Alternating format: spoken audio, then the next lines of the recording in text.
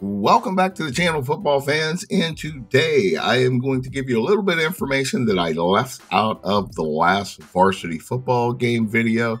And it's in regards to the grass textures that they uh, posted on their Twitter page all the way back on January the 1st.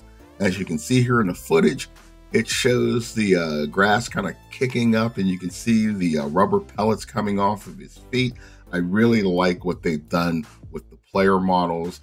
As I said in the last video, they have been working vigorously on new animations and motion captures, uh, smoothing it all out, making sure that the players look like they actually belong on the field.